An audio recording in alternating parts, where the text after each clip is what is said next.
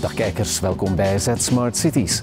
Onze steden en gemeenten staan voor grote uitdagingen, maar gelukkig is er vandaag intelligente technologie die hen helpt om de dienstverlening te verbeteren en het leven in de stad of de gemeente aangenamer en duurzamer te maken. Maar is dat ook haalbaar in een kleine gemeente? We vragen het vandaag aan Tim van den Put, de burgemeester van Hoeilaard. Hoeilaard is een gemeente met 11.000 inwoners in de rand rond Brussel. Het Zoniewoud, dat bijna de helft van het grondgebied beslaat, fungeert als natuurlijke buffer tegen de verstedelijking.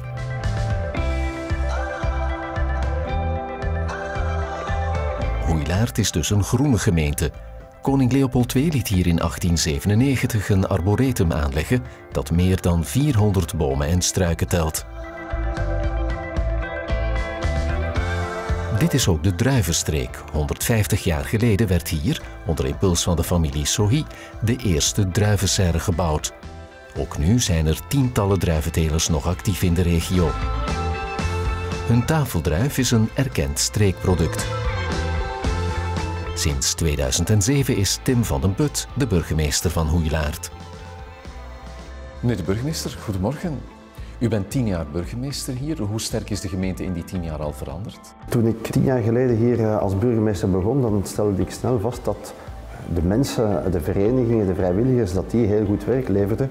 Ook de dienstverlening hier vanuit de gemeente, maar dat we eigenlijk een beetje blijven stilstaan waren op vlak van uh, infrastructuur. De mensen die leefden, die modern uh, waren, maar die leefden eigenlijk in een, in een verouderd huis. En we zijn begonnen om dat verouderd huis te gaan renoveren, te gaan restaureren. En um, ja, daar zie je toch wel de vruchten vandaag uh, van in het straatbeeld. We gaan straks eens kijken naar het Felix Louis Centrum, het gemeenteplein dat we aan het aanleggen zijn. Ook nog kleinere zaken die we doen. Dus we zijn bezig met het huis aan het moderniseren en daarvoor gaan we toch nog wel eens tien jaar nodig hebben om dat helemaal af te werken.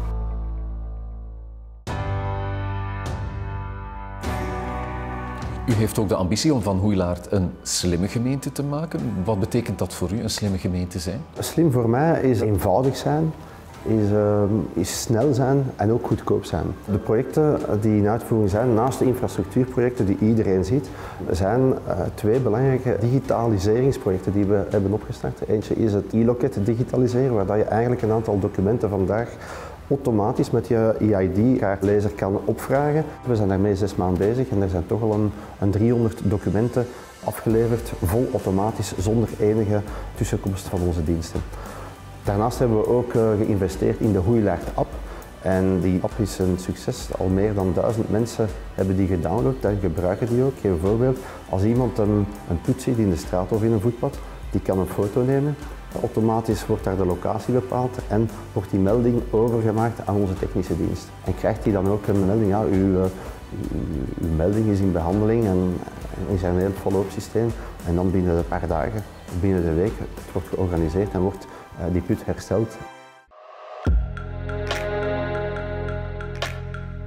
Het zijn uitdagende tijden voor de gemeente, nieuwe bevoegdheden. De financiële context is wat krapper dan vroeger. Zijn kleine gemeenten nog wel in staat om op lange termijn al die zaken uit te voeren? Of moeten we toch naar ja, ruimere samenwerkingsverbanden gaan kijken?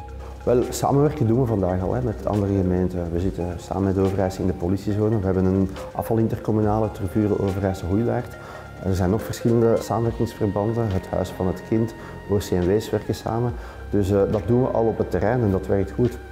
Mijn visie is, om samen te werken moet je niet fusioneren. Dus ik ben ook tegen de verplichte fusies. Het is aan de gemeente zelf om te bepalen, uh, gaan we fusioneren of gaan we samenwerken. En voor Roeilaag is het duidelijk, de gemeenteraad heeft dat vorige week ook nog uh, eens bevestigd. Wij willen meer samenwerken, maar wij willen niet fusioneren.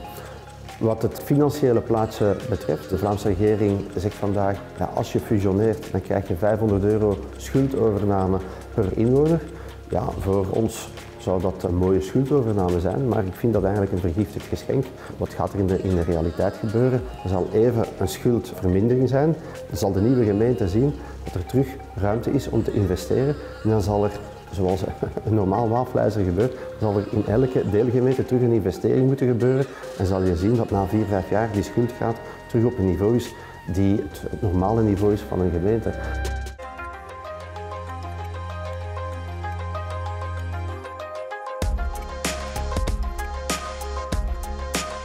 Meneer de burgemeester, Hoeilaart is misschien een beetje atypisch, want er zijn weinig grote bedrijven op uw grondgebied. Inderdaad, dat is zo en dat heeft eh, te maken met eh, de historiek. 100 jaar geleden waren hier allemaal zelfstandige druiventelers. Dat waren ook geen grote bedrijven, maar eh, allemaal zelfstandigen. En ik denk dat die filosofie nog altijd levendig is in Hoeilaart. Er zijn vele kleine ondernemingen, um, bakker, traiteur, chauffagist enzovoort. Maar we hebben hier inderdaad geen grote ondernemingen die meer dan 50 of 100 mensen te werk stellen. Dat heeft zijn voordelen, maar heeft ook zijn nadelen. De voordelen is dat we klein blijven, dat we gemoedelijk zijn, dat we het zelfstandige klimaat kunnen, kunnen ondersteunen. Het nadeel is waarschijnlijk financieel dan? Het nadeel is uh, financieel, dus je kan als gemeente geen grote sommen geld binnenrijven vanuit die bedrijventerreinen en dergelijke. Uh, maar ja, dat is een bloed met een buil nemen. Wij kunnen nog altijd financieel zeer gezond zijn en de ondernemers die er vandaag zijn verder ondersteunen.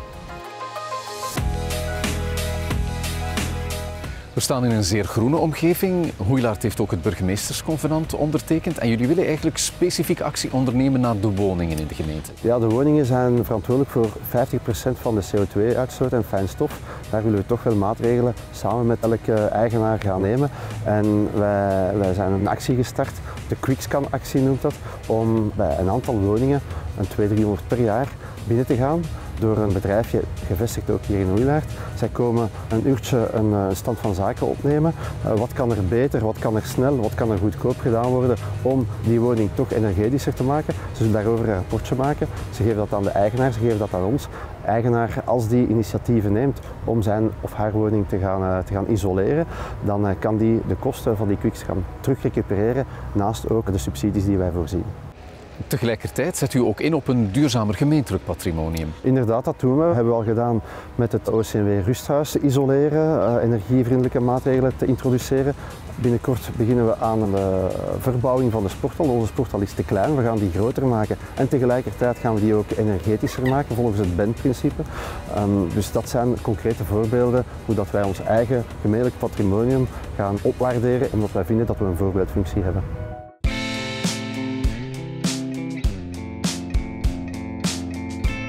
Als we nu tien jaar vooruit kijken in de tijd, hoe ziet Hoeilaart er dan uit in uw dromen? Ik ben ervan overtuigd dat het qua infrastructuur verder gemoderniseerd zal zijn. Dus we zullen blijven inzetten op die modernisering van de infrastructuur. Nieuwe sportaccommodatie, nieuwe jeugdlokalen, eh, een wegennet met eh, veilige fiets- en voetpaden. Een beleving van eh, verenigingen, van vrijwilligers, van mensen die hier graag wonen. Dus rond één kerktoren wonen. Daar geloof ik ook heel sterk in. Een gemeenteplein dat bruist van de horecazaken, uh, met terrasjes als het goed weer is. En ook een gemeente waar de open ruimte zal bewaard blijven. Meneer de burgemeester, hartelijk bedankt voor uw toelichting. Graag gedaan. En u, dames en heren, bent bedankt voor het kijken. Volgend weekend zijn we er weer met een nieuwe Z Smart Cities. En alle vorige afleveringen kan u nog eens herbekijken op de website kanaalz.be.